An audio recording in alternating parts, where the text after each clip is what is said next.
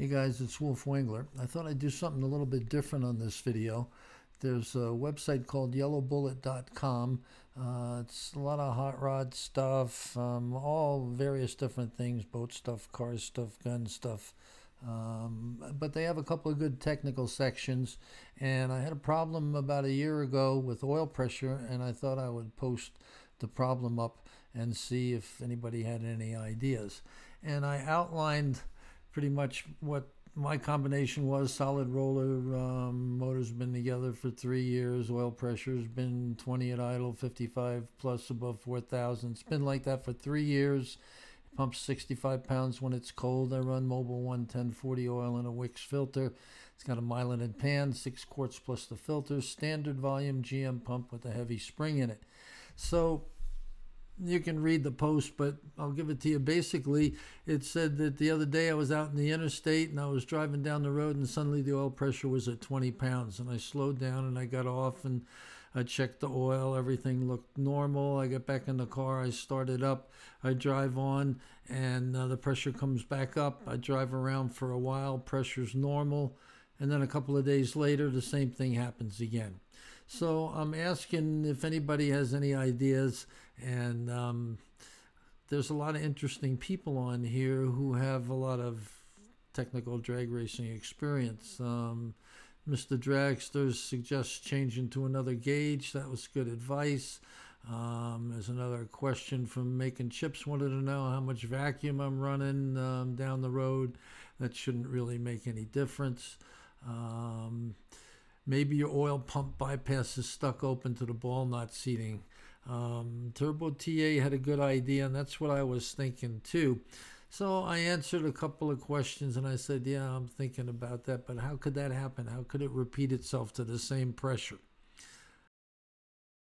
Pull the vacuum pump belt off. Um, did you chair it down before? I had some other stuff apart. No, everything was fine.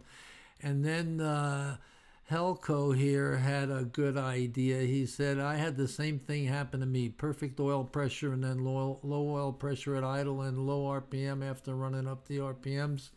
Took a look and found one of my cam lobes had started flaking off hardened surface, and a piece of that had found its way into the pressure valve on my relief on my oil pump, causing it to stick open.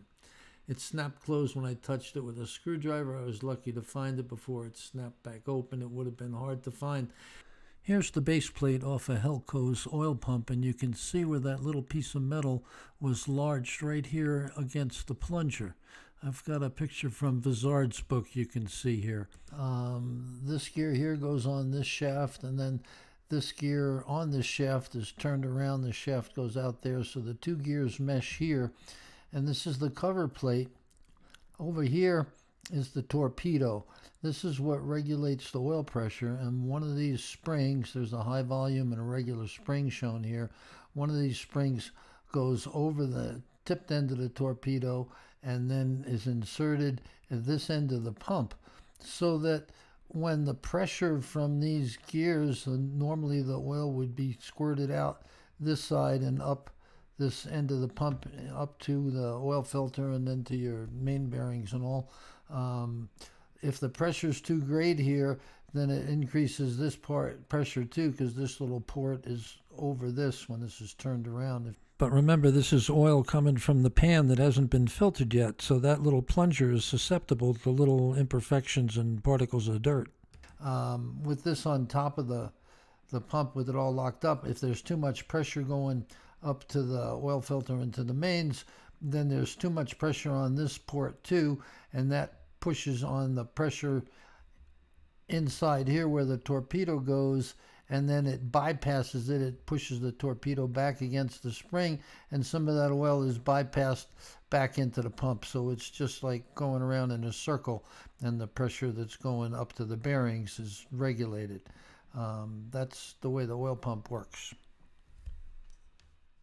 so um, I said, yeah, that's what I'm thinking too. Something stuck in the bypass. I might pull the fan, the pan off. And um, somebody said put a check valve in it. And I said I thought about pumping air in it to see if it would go the other way. And yeah, we talked about a whole bunch of different things, but Vega man here's got it figured out. He says, "Yeah, you need to drop the pan and see what's in there." And I said, "I know, but it's a pain in the ass."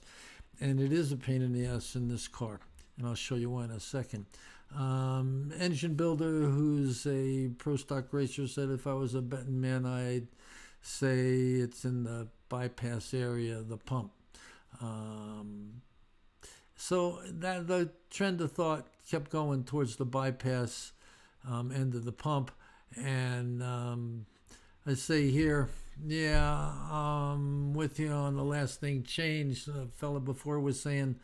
Um, I always think of the last thing changed. Anything goofy with the distributor not sealing off, uh, blah, blah, blah. And I say, yeah, I think of that too, but it's the bypass because I pulled it apart and the torpedo took 100 pounds of air to pop it out. Um, it was stuck in there and there was some marks on it that you can see here. Um, they look like some kind of maybe rubber or something real thin that got on it. Um, but I said I drained the oil through a paint strainer. It was good. So I'm putting a new bottom on the pump and it's going back together. So here's on the side of the car, just interest, here's the oil pump pickup. Oil pumps here, but to get the pan off to get to it, the whole K member here looks like this is bolted to the engine, but the motor mount's not attached here. I had to drop the whole K member here um, with the discs attached and everything, but it's only three bolts on each side once you disconnect the steering. So, yeah, it took a couple hours, but I got to the pan, and it's not the first time that's happened. Excel or 77 says, anytime I take the engine apart for anything, as long as it's out, I take the pump apart. I take the bypass valve out and I polish the body of the valve with 2500 wet and dry sandpaper. After cleaning the valve and the pump bottom plate, if the valve drops in when the plate is turned over, the valve will fall out. Then I feel I can install the spring and the pin.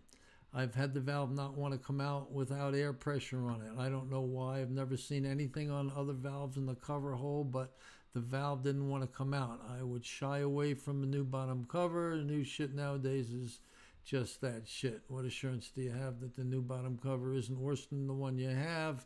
Blah, blah, blah, blah, blah. But I'm telling him now, no, it wasn't actually a new bottom cover. It was just another bottom cover that I had from another pump.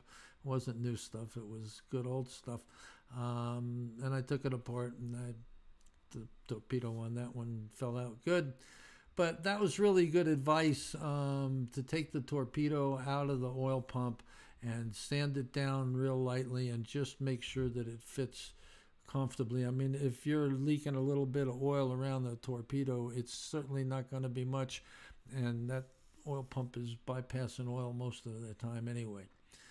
Glad you found it. Uh, how do the bearings look? Uh, somebody else said, yeah, he had another problem. Same thing with that. So it's just interesting to get a good dialogue going and um, talk to people that are knowledgeable in a certain area, and you got to really know who you're talking to too, because um, it's still the internet. Done finishing goodbye. This is normal. And my old friend Nick Engine Builder says, Sir, from the looks of the picture, you're speeding and breaking the law. Plus, on top of that, you still too have, have too much oil in the heads. He's joking with me. Glad you're back up and running. Thanks, Nick. It's Florida. Anything under 100 is good. How much does the vacuum pump affect the pressure reading? Helco tells they don't. The oil pump system and the engine internals are all in the same atmosphere. Oil pressure result of restriction to flow and mechanical force on that flow. Vacuum in the crankcase has no effect on it. Um, oil pressure is a result of restriction to flow. So if you have a lot of bearing clearances, your oil pressure is going to be less. If you have a high volume pump and you don't have a lot of clearance, all it's going to be doing is bypassing all the time. And then that's just pumping a whole lot of oil because the high volume pump's bigger than the standard volume pump. It's just pumping a whole lot of oil and wasting a little bit of horsepower. Um, yeah, and I'm saying I read that lower vacuum in the crankcase makes it easier for the oil to fall out of the little clearances, so pressure is slightly lower. Quick Superstock says this was a good read. And it was. This was an interesting, um, interesting little dialogue here, and um, solved the problem. So, internet can be helpful sometimes. Now I got to turn all this off.